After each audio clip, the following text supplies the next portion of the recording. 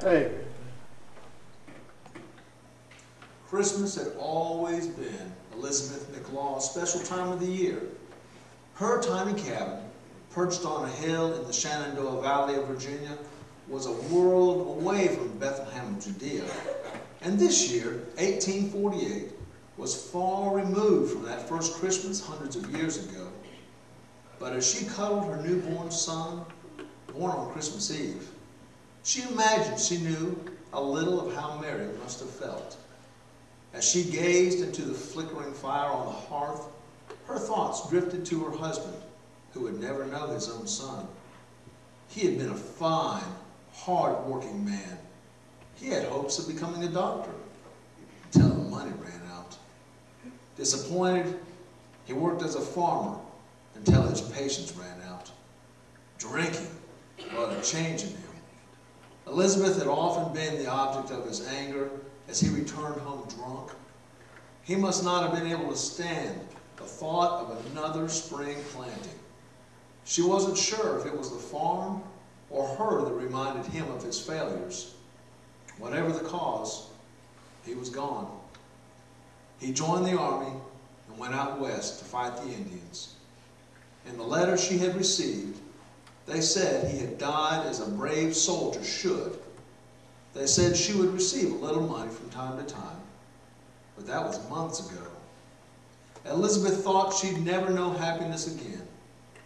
Till now, again, she studied the little infant in her arms.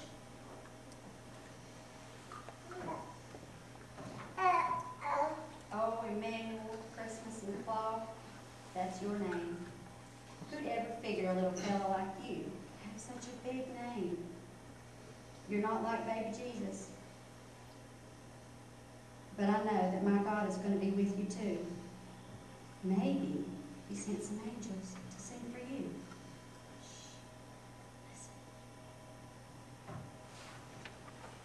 Emmanuel Christmas McLaw.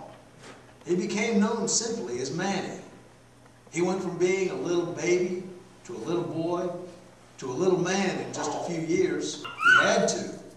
He was the man of the house. He was serious about his position.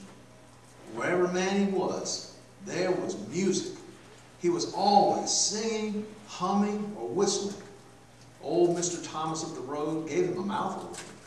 His little odd, off-key song concerts got better with hours of practice.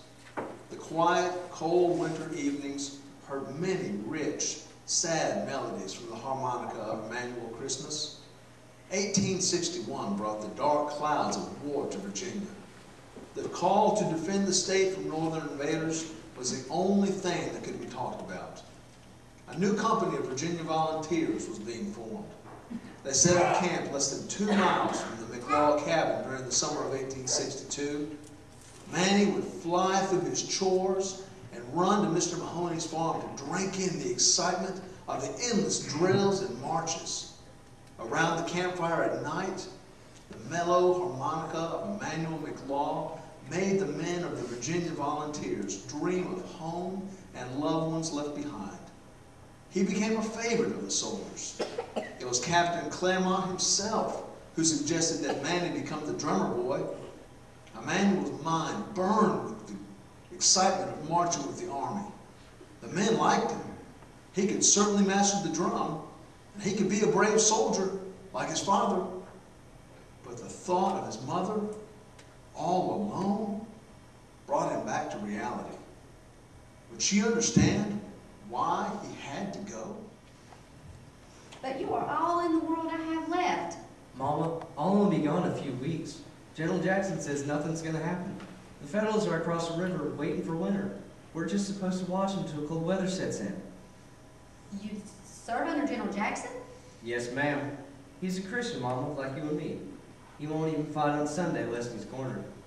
General Jackson says he's just as safe on a battlefield as long as, as he is in his parlor, as long as God wants him on earth. Oh, please, Mama, let me go. You remember? I lost your father when he joined the army. Why, them Indians, they killed him before he even knew I was expecting. But, Mama, I heard tell that General Jackson never loses any men. Fact is, they say he usually gains a few from the other side. Emmanuel, 14 years ago, I was all alone in this old world. Then God sent me a very special Christmas gift. So I named that gift Emmanuel. Son, do you know what your name means? Of course, Mama. You tell me all the time. Emmanuel means God with us. But, Mama, doesn't it mean that God is with me, just like he is with General Jackson? I'm as important as a general to Jesus, ain't I? Emmanuel Christmas, you are a rascal. Yes, ma'am. Now, we'll be home before the birthdays. Birthdays? Yours and Jesus's. I want you to promise me you'll spend Christmas at home. You must be home for Christmas, son. Mama, I'll spend Christmas at home. I promise. Don't worry. There ain't gonna be no fight. Besides, I wouldn't miss Christmas at home for anything.